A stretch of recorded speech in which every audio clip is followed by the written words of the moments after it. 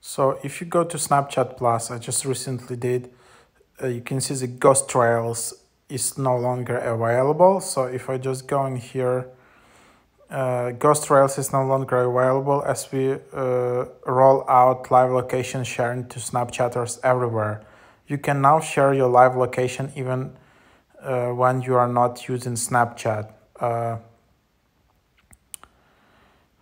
uh, so I think they meant when you are not using Snapchat Plus or something. I don't know.